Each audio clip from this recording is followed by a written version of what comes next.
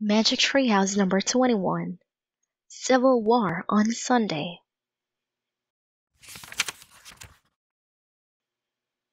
Prologue One summer day in Frog Creek, Pennsylvania, a mysterious treehouse appeared in the woods. Eight year old Jack and his seven year old sister Annie climbed into the treehouse. They found that it was filled with books. Jack and Annie soon discovered that the treehouse was magic. It could take them to the places in the books.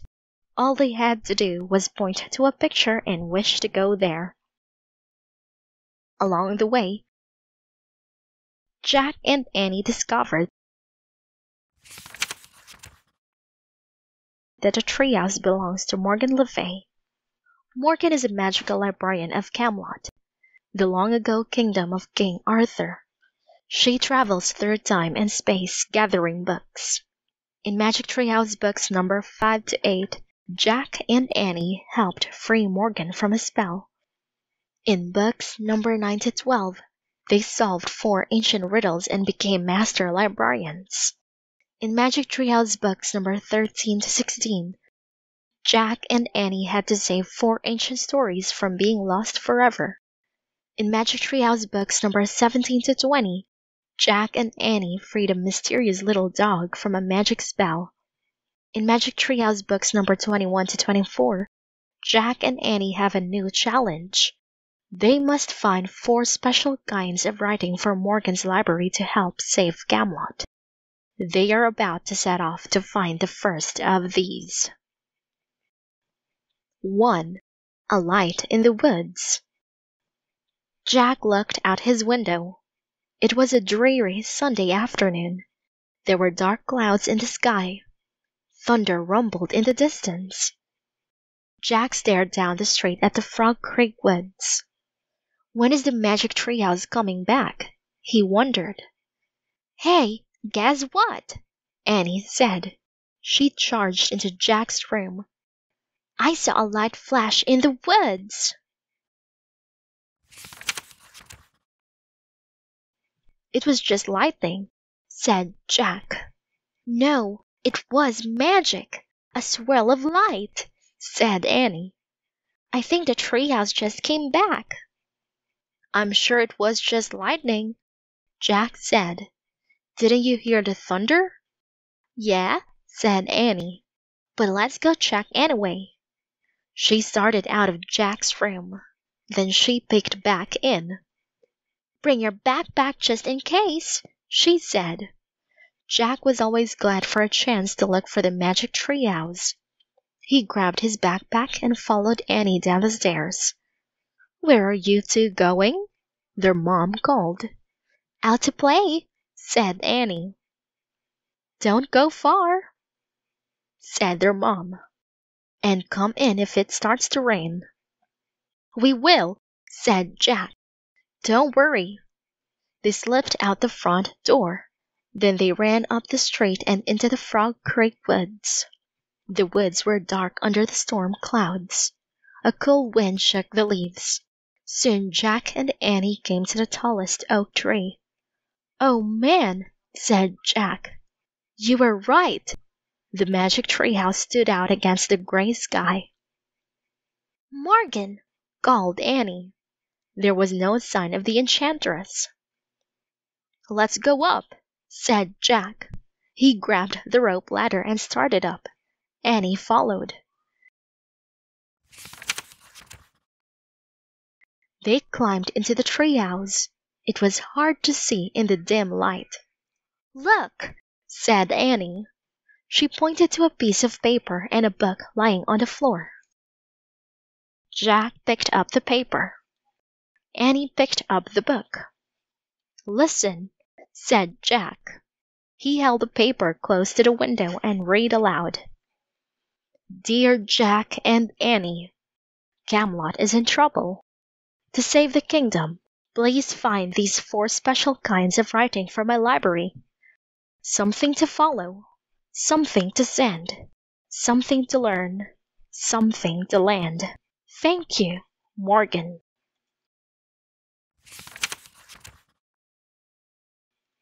Camelot is in trouble? said Jack. What's that mean? I don't know, said Annie. But we better hurry and find these writings. Let's go look for the first. Something to follow. I wonder where we should look for it, said Jack. What's the title of the book you're holding? Annie held the book close to the window to read the title. Yikes! she said softly. She showed the book to Jack. On the cover was a painting of a peaceful looking field and a blue sky. The title said The Civil War. The Civil War? said Jack. Cool! Annie frowned. Cool? She said, War's not cool. It sort of is, Jack said uncomfortably. He knew war was bad, but some parts of it seemed fun, like a game. I guess we'll find out, said Annie. She pointed at the cover. I wish we could go there. Thunder boomed through the woods. The wind started to blow. The treehouse started to spin. It spun faster and faster. Then everything was still. Absolutely still. 2. Cruel War Glaring sunlight filled the treehouse. It's really hot here, said Jack. Especially in these clothes, said Annie. Their clothes had magically been changed. Annie wore a long dress. Jack wore scratchy pants and a long sleeved shirt. His backpack was now a leather knapsack. Where are we? asked Annie. They looked out the window together. The tree treehouse had landed in a tree at the edge of a field, the same field on the cover of the book. It looks so peaceful, said Jack. Where's the Civil War? There, whispered Annie with a shiver. She pointed to the woods beyond the field. Jack saw a soldier riding a horse out of the woods. The horse was covered with mud. The soldier's blue uniform was torn. His arm was bloody. Another man rode into the field. His blue uniform was in rags too. His head was bandaged. Oh man, whispered Jack. Who are they? He opened the Civil War book and found a painting of some soldiers in blue. He read to Annie.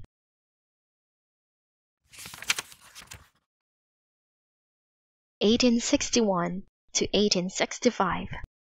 The Civil War is also called the War between the States because it was fought between the southern and northern states of the United States. Southerners wore gray uniforms and were called Confederate soldiers. Northerners wore blue uniforms and were called Union soldiers. So they're Union soldiers, said Jack. He pulled out his notebook and wrote Civil War, 1861 to 1865. Blue equals North equals Union. Gray equals South equals Confederate. Jack looked at his book again. He read aloud. The Civil War was a cruel and bloody war. More people died in this war than in all of America's other wars put together. One out of every five young men in the nation died or was wounded. That's so sad, said Annie. Jack wrote in his notebook, Cruel War. Wow, they keep coming, Annie said. Jack looked up. More Union soldiers were coming through the field. These didn't have horses. They all looked sad and weary. Some of them limped. Some of them helped others along. One man stumbled and fell down. I have to help, said Annie. Wait, said Jack. She started down the rope ladder. You can't help, said Jack. A kid can't help. But Annie kept going. Don't forget, we have to find some special writing for Morgan. Jack called in a loud whisper. Something to follow! He packed the Civil War book and his notebook in his knapsack. Then he started down the ladder. When he stepped onto the ground, Jack saw Annie in the distance. She was holding her hand out to the fallen soldier. She helped him to his feet. The soldier slowly started walking again. Annie walked beside him.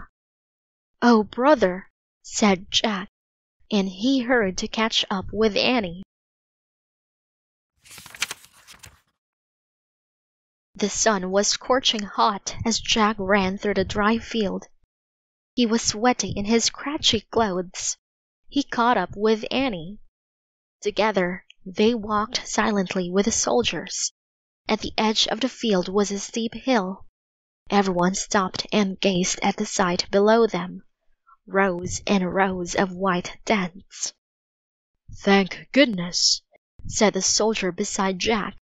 We're saved.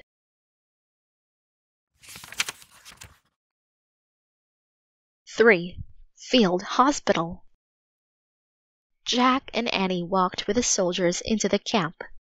Outside one tent was a long line of men in torn blue uniforms. They looked tired and hurt. Many were bloody and barely able to stand. Women wearing dark dresses were giving out food and water to the men in line. Where are we? asked Annie. I'll find out, said Jack. He pulled out their book and found a picture of the campsite. He read During the Civil War, field hospitals were set up quickly near battlefields to treat wounded soldiers. Soldiers stayed in the field hospitals for a short time before going back to fight, or moving to a larger hospital or being sent home. This field hospital in Virginia took care of over 400 patients. That's a lot, said Annie. It sure is, said Jack. He pulled out his notebook and wrote, Field Hospital, set up near battlefield. Jack read aloud again from the book. More than 3,000 women helped out as nurses during the Civil War. Nursing was a new job for women in America. Before the war, only men had been nurses. Wow, said Annie. Maybe we can be nurses. Forget it, said Jack. Kids can't be nurses. Jack wanted to find the special writing for Morgan and go home. The sad scene at the field hospital was making him feel sick. I'll just ask, said Annie. She headed over to a nurse cooking over a campfire. Annie, we've got a mission! Jack called, but Annie kept going. Jack heaved a sigh. He tucked his notebook and the Civil War book under his arm and followed her. Waves of heat rose from a small cooking fire. The young nurse was heating a pot of coffee. Flies buzzed everywhere. Hello, said Annie. The nurse barely smiled at them. Her face was red and beaded with sweat. Her eyes looked terribly tired. Where are you from? she asked. Frog Creek, said Annie. We'd like to volunteer as nurses. The young woman didn't seem at all surprised. We could certainly use some help, she said, sighing. Some of us have not slept for days. Why not? asked Jack. The wounded are coming here from a battle near Richmond, said the nurse. More and more keep coming. It never seems to end. Just tell us what to do, said Annie. While we feed the new patients, you can go to the first two tents, the young nurse said, and give the other soldiers their noon meal. She pointed to a basket filled with bread and potatoes. Next to it was a ladle and a bucket filled with water. Anything else? Annie asked. Just try to give them comfort. the nurse said. How do we do that? said Annie. I don't have time to show you, the nurse said. But here's a list of things that can help. She pulled a piece of paper from her apron pocket and handed it to Annie. Annie read the list to Jack. Be cheerful. Lessen sorrow and give hope. Be brave. Put aside your own feelings. Don't give up.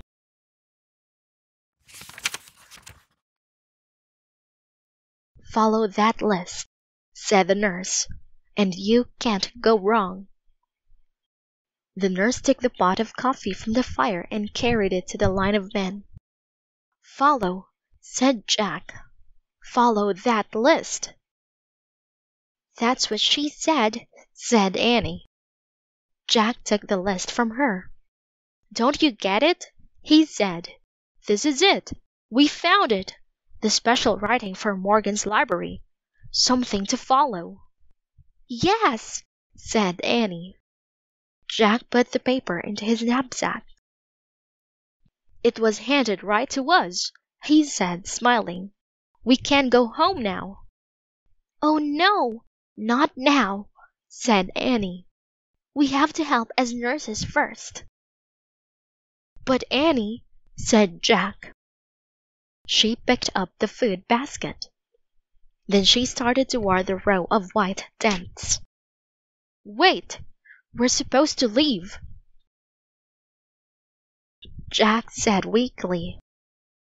Our mission is over. The truth was that he didn't want to help. He didn't want to be around wounded and suffering soldiers. It was too sad. Bring the water bucket and the ladle, Annie shouted.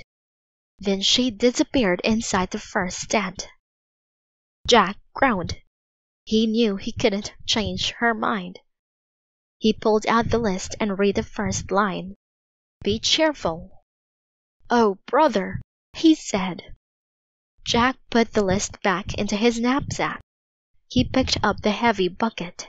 Hurrying clumsily after Annie, he tried to smile. 4. Freedom Fighters Jack carried the water bucket into the tent. The scene inside was like a nightmare. The tent was hot and stuffy. A dozen injured soldiers lay on small cots. Some called for food. Others begged for water or just moaned. Jack wanted to rush back outside. But Annie got right to work. She rolled up her sleeves and smiled. Hi, everybody, she said cheerfully. None of the soldiers smiled back. I have good news, she said. We've brought lunch. Annie moved down the row of cots. She handed out pieces of bread and chunks of potatoes to all the patients. You'll be feeling better soon, she said to one sick man. You'll see your family again, she told another. Jack looked around nervously. He wasn't sure what to do. Give them water, Jack, Annie called to him. Jack saw a tin cup beside each man's cot. He picked up the first cup. Carefully, he used the ladle to fill it with water. Keeping his eyes down, Jack handed the cup to the patient. He felt shy and uncomfortable.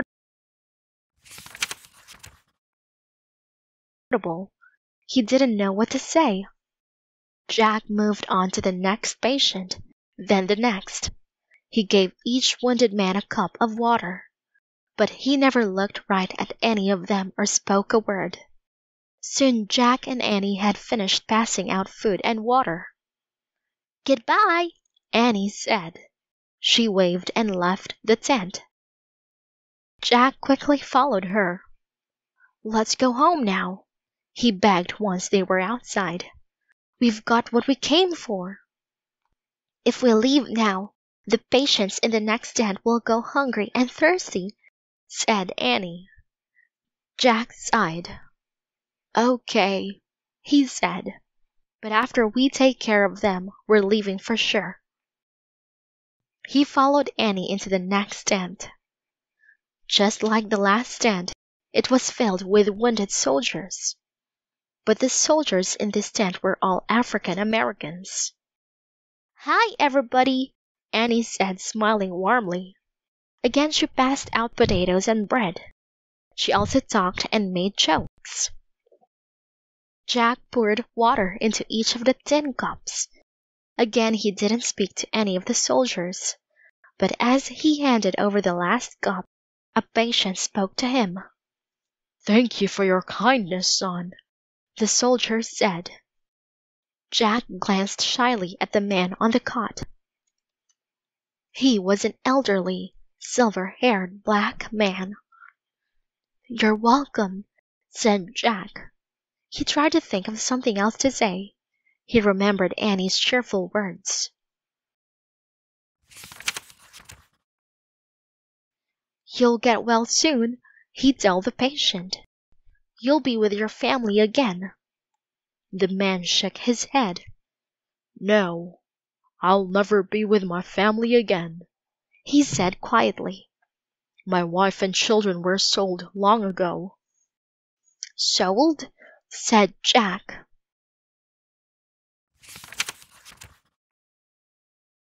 Yes, we were slaves, the man said. You were a slave? asked Jack. All of us in this tent were once slaves, the man said. We ran away from our owners in the South to fight to end slavery, to fight for freedom for our people. I ran barefoot for over 30 miles to tell the Union soldiers that the Confederates were going to attack. The man fell silent. You're a very brave freedom fighter, said Jack. Thank you, son. The man closed his eyes. Jack wanted to know more about slavery, but he didn't want to bother the wary patient. He pulled out the Civil War book. He found a picture of African Americans standing on a platform. The men, women, and children had chains on their hands and feet. Jack read. In the 1800s, the United States was divided over the issue of slavery. The North wanted the country to end all slavery, but the South wanted to keep slaves because more than 4 million African American slaves worked in the huge plantation fields there. This disagreement between the North and South led to the Civil War. Jack looked down at the man's face. He looked very weary. Jack pulled the nurse's list of rules from his knapsack. Lessen sorrow and give hope. He read. Jack put the list away. He leaned close to the man and spoke in a soft voice. One day Your great great grandchildren will be doctors and lawyers, he said. The man opened his eyes. Jack went on. They'll help run the government and schools. They'll be senators and generals and teachers and principals. The man stared hard into Jack's eyes. Can you see the future, son? he asked. Jack nodded. In a way, he said. The man smiled a beautiful smile. Thank you, son, he said. Then he closed his eyes again. Good luck, whispered Jack. He hoped the brave man would live to enjoy freedom. Ready to go home now, Jack? said Annie. She had finished passing out the food. Jack nodded. As he and Annie stepped out of the tent, they heard someone shout, She's back! A horse drawn wagon was barreling into the camp. He's back? Asked Annie. Clara Barton, a patient, said. She runs this hospital. Clara Barton, said Annie. I don't believe it. Who's Clara Barton? asked Jack. He'd heard the name before, but he couldn't remember who she was. Who's Clara Barton? said Annie. Are you nuts? She ran to meet the wagon. Five. Angel of the Battlefield. Jack still didn't remember who Clara Barton was. He pulled out the Civil War book and read. Clara Barton was a famous Civil War nurse. When she began nursing, she used her own money for her supplies. She drove a horse drawn ambulance right onto the battlefield to help save wounded soldiers. For this reason, she became known as the Angel of the Battlefield. Jack put the book away. Then he hurried to Annie. He looked at the woman sitting in the driver's seat of the wagon. She doesn't look like an angel, Jack thought. The woman was very small. She had a plain, serious face and dark hair pulled back in a bun. She wore a long black skirt and a black jacket. In the back of her wagon were more wounded soldiers in torn, bloody uniforms. They moaned and cried out. Nurses, both men and women, were putting the wounded men on stretchers. Clara Barton wiped her forehead. She looked hot and tired. Can we help you, Miss Barton? Annie asked.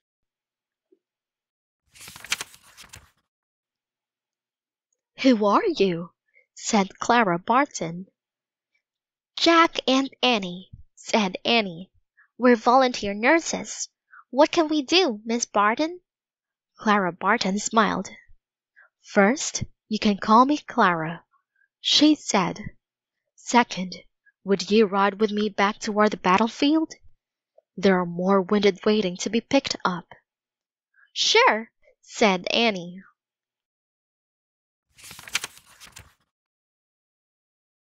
Jack didn't answer. After seeing all the suffering men in the wagon, he was afraid of getting closer to the battlefield.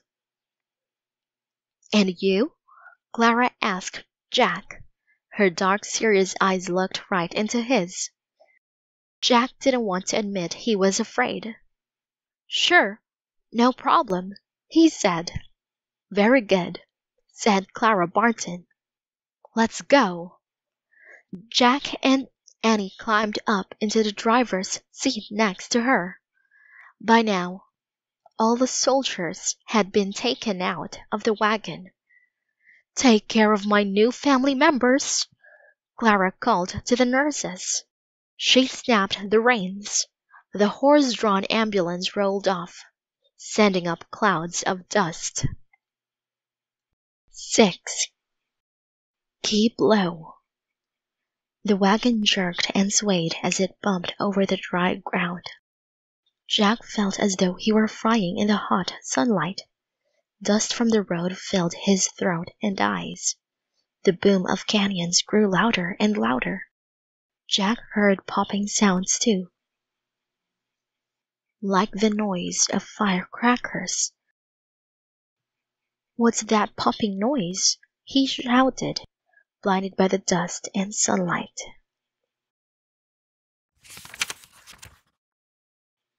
Musket fire, said Clara.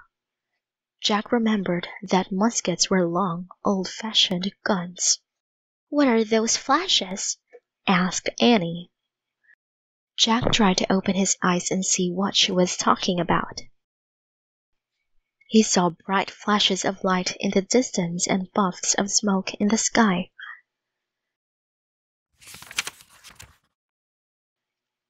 Cannon shells exploding, said Clara Barton. Shells are like small bombs. They have ruined much farmland. Jack squinted at the passing countryside. The ground was filled with ugly holes. Long ditches were also cut through the fields. Did the shells make those ditches too? he asked. No. Those are trenches the soldiers dug for a battle, Clara said. Each side digs their own. Day after day they sit in the trenches, firing their muskets at one another. Jack tried to imagine how terrible it would be to sit in a trench all day, waiting to be shot or waiting to shoot someone else. We have to get some water, said Clara. She drove the wagon to a narrow creek. A stream of water flowed downhill, running over rocks. The wagon came to a halt. Jack heard a whistling sound, then another. Keep low, cried Clara. What's that? Jack asked. Cannon fire, she said. Jack and Annie crouched down in the driver's seat. Jack felt a rush of panic. He pulled out their list. His hands were shaking as he read. Be brave. Oh, great, he thought. Another cannon shell whizzed overhead, then another. The ground exploded over and over in flashes of light. Dirt clods flew everywhere. Clouds of smoke and more dust filled the air. The horses neighed and whinnied. Be brave, Jack thought. Be brave. 7. Helping Hands The firing came to an end. The horses calmed down. The smoky air began to clear. Clara handed Jack and Annie each a canteen. Fill these quickly, she said. We have no time to waste. Jack's legs felt wobbly as he followed Annie to the creek. They filled their canteens, then climbed back into the wagon. Keep alert, said Clara. Look for the wounded as they come off the battlefield. She snapped the reins. The horses started off again. As they bumped along, Jack looked ahead for wounded soldiers. There, said Annie. She pointed to a man limping toward them and waving his arms. The man looked very young, more like a teenage boy. His uniform was torn and bloody. It wasn't a blue uniform, though. It was gray. Clara pulled the horses to a stop. But he's a Confederate soldier, said Jack. When someone is hurt, you give them a helping hand, no matter who they are said Clara. Her voice got softer. I have seen courage and kindness on both sides of this war. Sometimes things are not as simple as they seem. Jack was glad they had stopped to help the soldier. He jumped out of the wagon. Do you need a helping hand? he asked the young man. Thank you, the soldier said softly. Jack helped him into the back of the wagon. The soldier lay down on a pile of blankets and closed his eyes. Jack climbed back onto the seat beside Clara. She snapped the reins and they rode on. They came across more ragged men resting in the shade of an oak tree. These soldiers all wore blue uniforms. Again, Clara stopped the horses. See if any of those men need a ride to the hospital, she said to Jack and Annie. Jack glanced at the soldier sleeping in the back of the wagon. Can a Confederate and a Union soldier be together? He asked worriedly. Clara nodded. Sometimes men are simply too sick and tired to be enemies anymore, she said. Sometimes they even know each other. Many families and friendships have been torn apart by this war. Let's go, said Annie. Hopping out of the wagon, Jack followed her. They carried their canteens to the man under the oak tree. Hi, said Annie. Does anyone need to go to the hospital? Only John, our drummer boy, a soldier said. He's suffering from heat stroke, but we all need some water, miss. Jack saw a young boy lying on the ground. His eyes were closed. Oh, Jack, whispered Annie. He looks just like you. The boy did look a lot like Jack, just a few years older. We better get him to Clara's ambulance right away, Annie said. She handed her canteen to one of the tired soldiers. Another soldier lifted the drummer boy to his feet. The boy opened his eyes and mumbled a few words. He tried to walk, but he swayed as if he were about to faint. Wait! Jack grabbed the boy. We'll give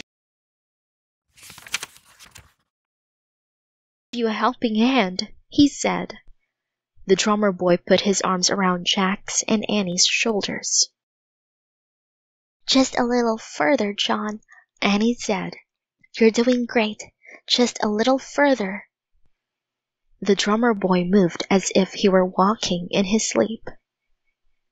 His head hung down. His feet shuffled in the dust. Take good care of him, one of the men called. We can't do without him. 8. Brothers. Clara Barton had turned the wagon around.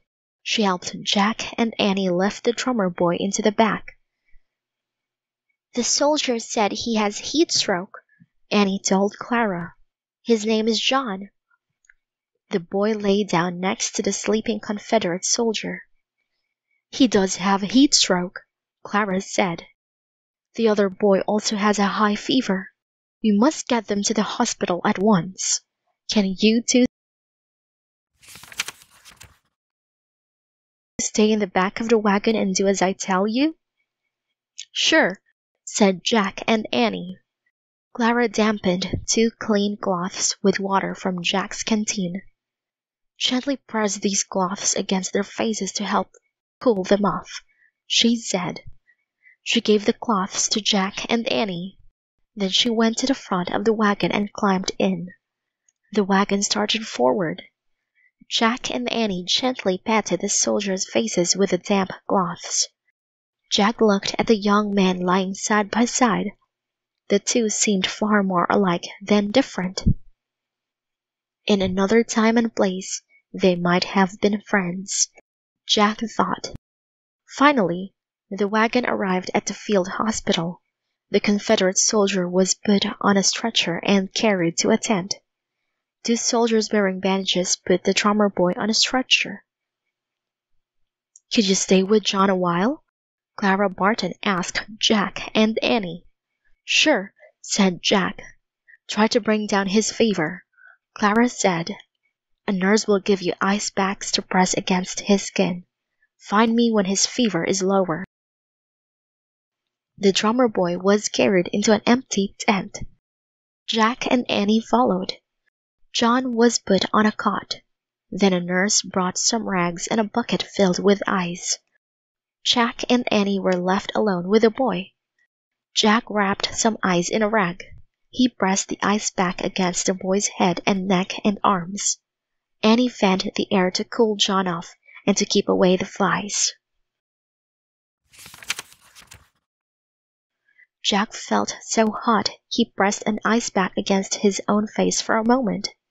Then he looked up drummer boys in his Civil War book. He read. The Civil War was the last war to use drummer boys. The drum beat was used to give orders to soldiers. Different beats told them when to eat, how to march, and even how to fight. On smoky battlefields, the boys' drumming helped soldiers find one another and keep together. Wow, said Jack. He closed the book, pulled out his notebook, and wrote, Drummer boy, really important job. Suddenly John shouted. Jack looked up from his notebook. The drummer boy was still asleep, but he was waving his arms as if he were having a nightmare.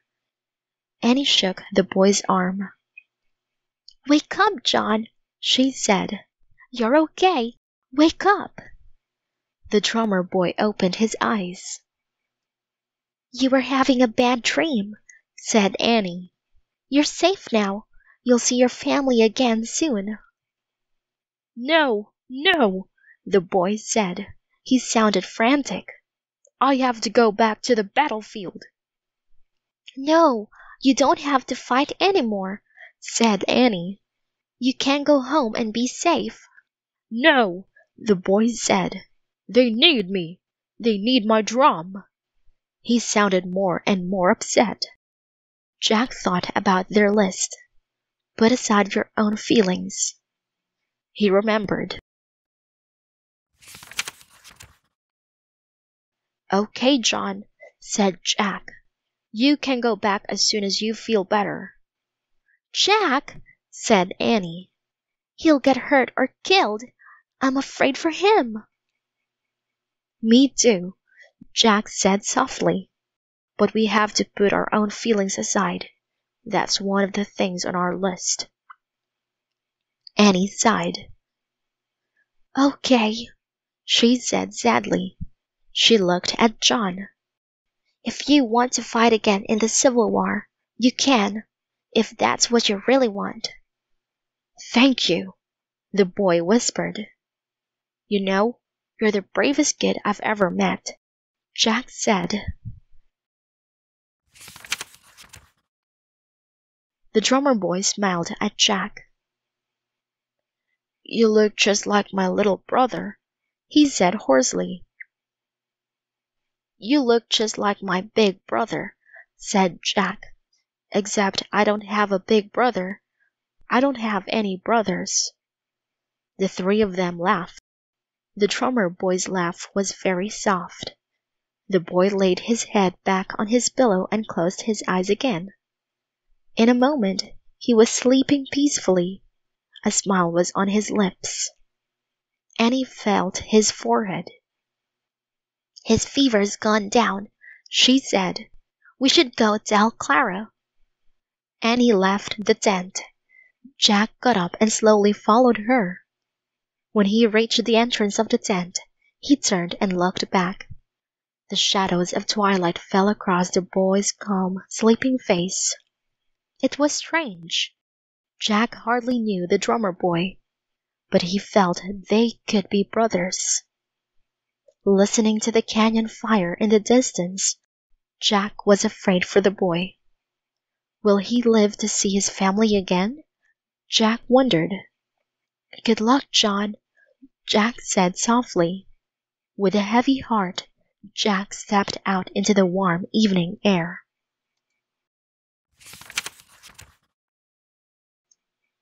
Nine. Don't give up.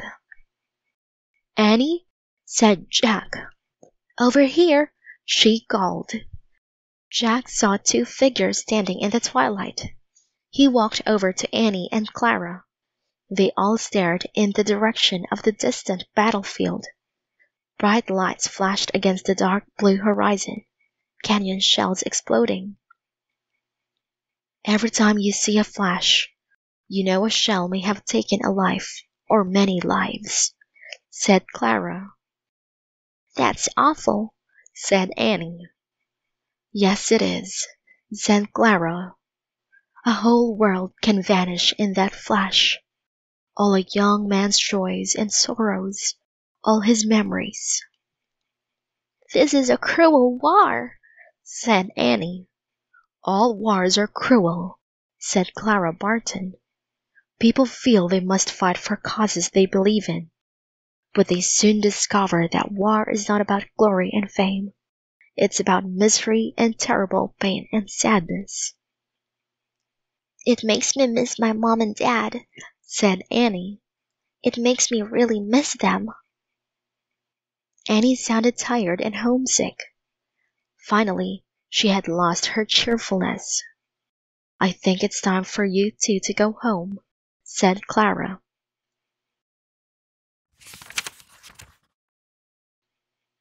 Jack thought of all the wounded men who needed food and water and kindness and comfort. No, Jack said. We have to stay. We can't give up. That's on the list. Don't give up. Jack pulled out their list to show Clara Barton. Oh, yes, she said, nodding. I see one of my nurses has written down the things I often say. Let me add one thing more. Do not forget the ones who love you. Jack heaved a big sigh. He was homesick too. Can we keep the list? he asked. Of course, said Clara. You don't have to work in a hospital to follow my words. They work in all of life no matter where you go. Thanks, said Jack. My thanks to both of you, said Clara Barton. You were great helpers. You were a great teacher, said Annie. Goodbye, said Clara Barton. Be very careful going home. We will, said Jack and Annie. Bye. The sun was setting as they walked out of the camp. The boom of cannon sounded in the distance. Soldiers sang a song around a campfire. We're tenting tonight on the old camp ground. Give us a song to cheer our weary hearts, a song of home and friends we love so dear. Jack and Annie walked through the darkening field. By the time they reached the woods, the stars were out. They climbed up the rope ladder to the treehouse. Annie grabbed the Pennsylvania book. Wait, said Jack. He looked out the window. He couldn't see anything below, but the soldier's song still carried through the warm, starry night. Many are the hearts that are weary tonight, wishing for the war to cease. As Jack listened, he thought of Clara Barton, the elderly slave the young Confederate soldier, and John, the drummer boy. War is not a game, Jack said softly. It is definitely not a game.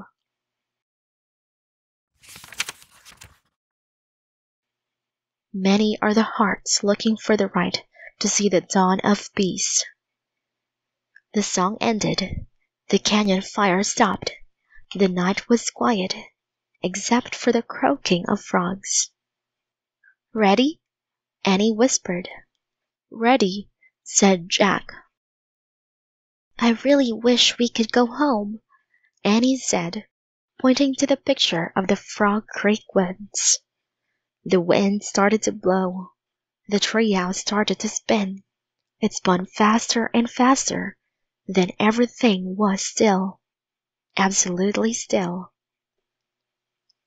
Then, home sweet home. There was a booming in the distance. Jack opened his eyes and caught his breath. Is that cannon fire? He wondered. Are we still back in the Civil War? We're home, said Annie. Home sweet home. Oh man, Jack whispered. They were home. They were back in the Frog Creek woods. They were wearing their own comfortable clothes again. The cannon fire was really only thunder. At that moment, Jack loved the thunder. Raindrops tapped against the treehouse. We better hurry, said Jack. Wait, leave the list in the treehouse, said Annie. It's the first special writing for Morgan's library something to follow. Jack took the list of Clara Barton's rules out of his bag. He put it on the floor next to Morgan's letter. I wonder how that list will help save Camelot, he said. I don't know, said Annie. But you know what's weird about getting that list? I think we couldn't just have taken it home when we first got it. We had to live it first. Jack nodded. Annie was completely right. He thought. He picked up his backpack. Wait, I see another note, said Annie. She picked a piece of paper off the treehouse floor. On it was written, Come back on Wednesday. I guess that's when Morgan wants us to look for the next special writing, said Annie. That's in three days, said Jack. Let's go home and rest. He started down the rope ladder. Annie followed. When they stepped onto the ground, the rain began to pour down. Run! said Jack. They ran through the Frog Creek woods, then down their street. They ran to their porch and dashed into their dry, cozy house. They found their parents reading in the living room. Dad, Mom, Annie cried. We're so glad to see you. Well, we're we're glad to see you too, their dad said, sounding a little puzzled.